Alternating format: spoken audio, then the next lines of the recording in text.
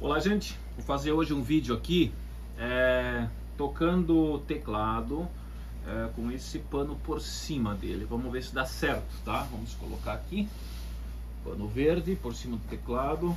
Geralmente é preto, mas eu não, não tenho um pano preto, que eu vou colocar o verde mesmo. Ah, eu já vi o pessoal fazendo isso aqui é, com um acordeão, né? Acordeão faz, bota um pano preto por cima, né? Um teclado, a gente vai fazer essa experiência hoje aqui. Que acho que deve dar certo sim, tá? Então vamos lá, vamos ver se vai funcionar aqui. Onde é que tá o botão de liga aqui que tá tudo